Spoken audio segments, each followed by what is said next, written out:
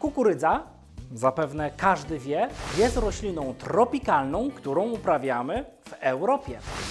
To, drodzy Państwo, jest bardzo ważne, ponieważ jako jedna z nielicznych, które mamy na swoim obszarze, prowadzi fotosyntezę torem C4, czyli potrafi wiązać o wiele więcej dwutlenku węgla z atmosfery, aniżeli rodzime gatunki, które mamy wokół nas żeby kukurydza prawidłowo asymilowała, żeby kukurydza prawidłowo oddychała i przeprowadzała transpirację, musi mieć zdrowe blaszki liściowe. To jest podstawa. Blaszki liściowe to fabryka, która karmi całą roślinę.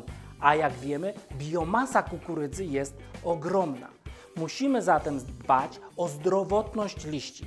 A plantacją kukurydzy w Europie zagraża kilka chorób, które uszkadzają blaszki liściowe.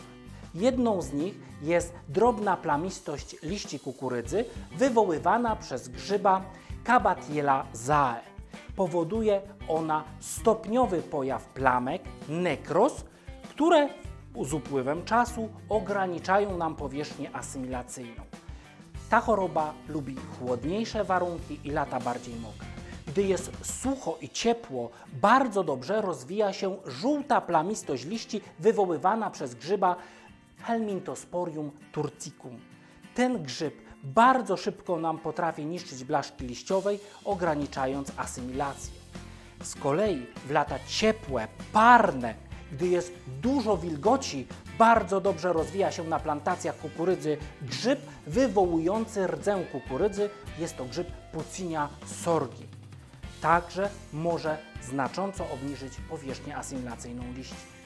Z tego też powodu musimy chronić blaszki liściowe przed nadmiernym rozwojem chorób za pomocą dedykowanych metod ochrony roślin, tak chemicznych, jak również niechemicznych, gdzie profilaktyka, czyli zapobieganie nadmiernemu pojawowi patogenów jest bardzo ważna.